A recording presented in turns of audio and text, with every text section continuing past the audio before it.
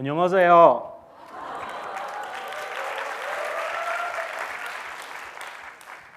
안녕하세요. 오늘 기분 어때요? 좋아하십니까? 많이 더워하네. Hello, my name is LeSean Thomas, and I live here in Seoul, in South Korea, for the summer. And I am not an English teacher. I am not in the military. I am not a professor or a rapper. And although to some of you I may look pretty tall standing up here, I am not very good at basketball. I am not any of those things. This is what I do.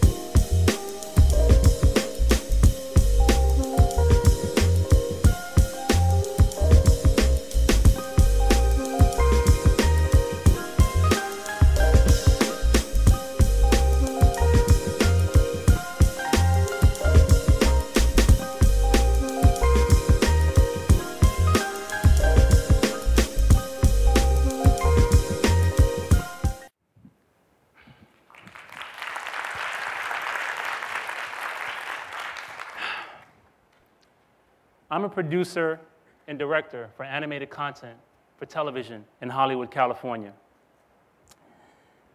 What I basically do is make cartoons for TV. Now, some of you may be familiar with the idea of cartoons on TV. I hope so.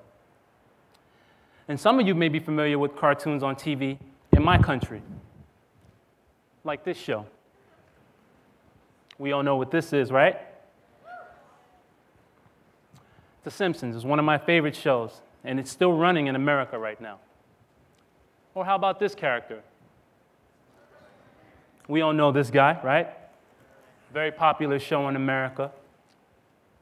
Or how about this guy? We all know Batman. But what some of us may not know is that these three shows that I've just shown you are not animated in America by Americans. These three shows that you just saw are animated here in South Korea by South Koreans. In fact, about up to 85% of all animated television shows in America are animated here in South Korea. And India, some places in China. But for the most part, we send all of our animation here for action shows. Now, there are three stages in making an animated television show in America there's pre production, main production, and post production. Pre production is our job, the Americans. We come up with the story, we make the idea, we find the voice actors and the talent. We get the artists to come in and we design and we design the characters and the storyboards and the props. But we don't animate these shows. The animation is done here. Now, the part of main production is done here. And that means that once the animation is done, it comes back to us at the third stage, post production, which means that we take what the Koreans have done edit it, mix it, put sound effects and music, and put it on television. Now, main production is what we like to call in America as outsourcing. And outsourcing is one of the most integral parts of American animated television for the better half of about 25 years. Koreans have been animating American shows for about close to 30 years. And many of you might not have known that. So, as a kid, I always loved watching cartoons. And, you know, I'd watch cartoons as a kid. I've always, you know, thought I was a talented little kid. I'd make my own characters and want to make the shows. And someday I'd hope that I'd make my own animated show. And as I got older, my skills got better. And I developed, and I started to attract the attention of popular animation studios. And they wanted to hire me. So I got the job. Perfect. I can animate now. But there was a small problem. I couldn't animate. And not because I wasn't good at animating, was, well, probably I was, but the point of the matter was there were no jobs available for animation.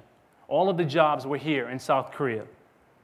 So as a result, I had to learn the first stage, pre production, which means I was a character designer and I would design the storyboards.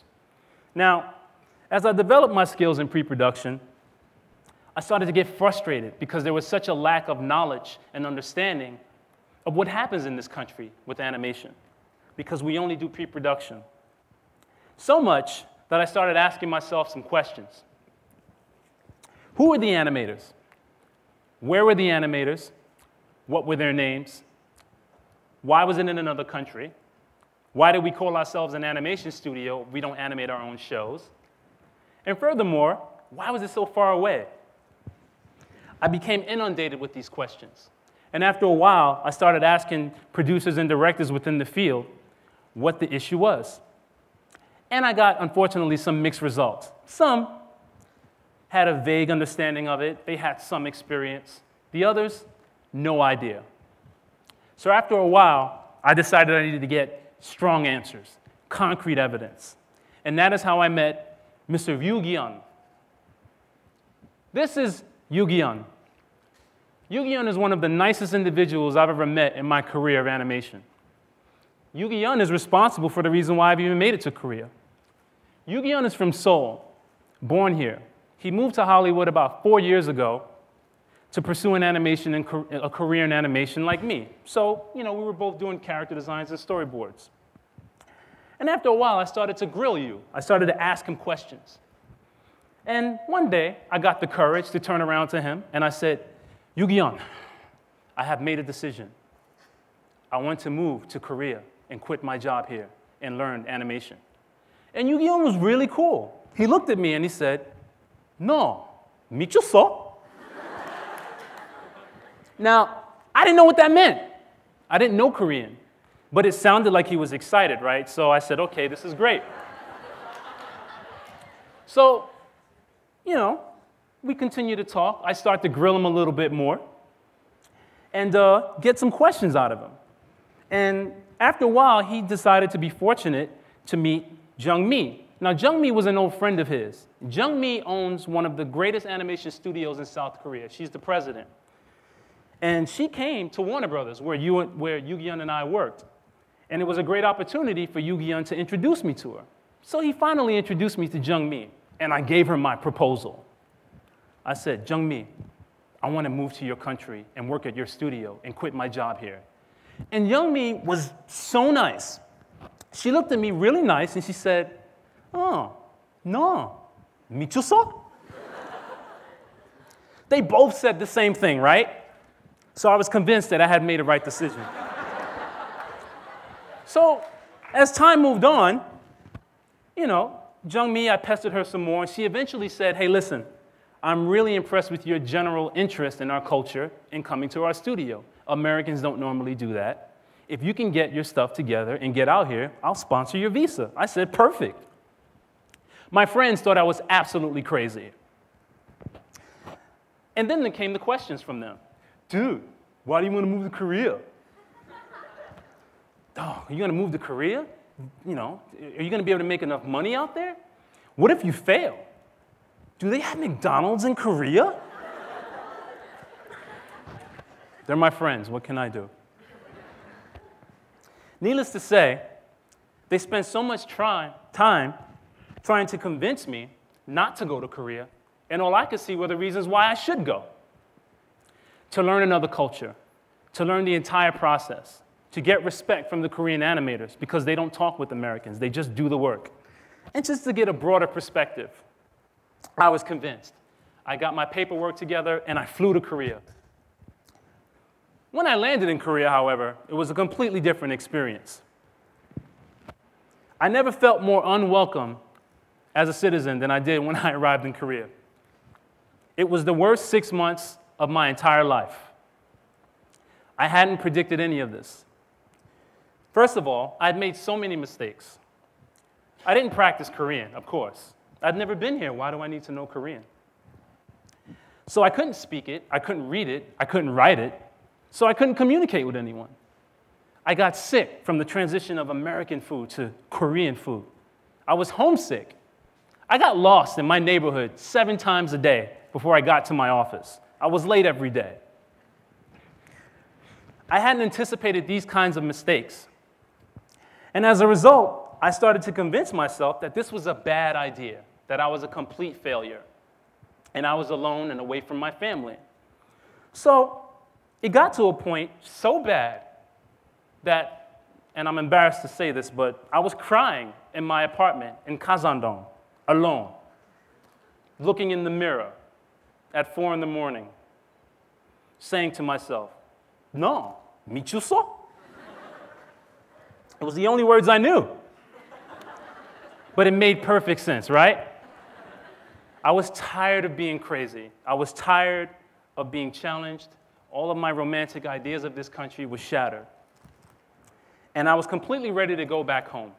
I wanted to get my first ticket back home, fly back to America, be normal again, enjoy California, the palm trees, the burritos, McDonald's. And I considered myself a failure. Now, that story was three years ago, but I stayed. And I stayed because Ryu spoke to me.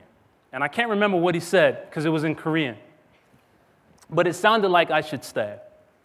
And I did.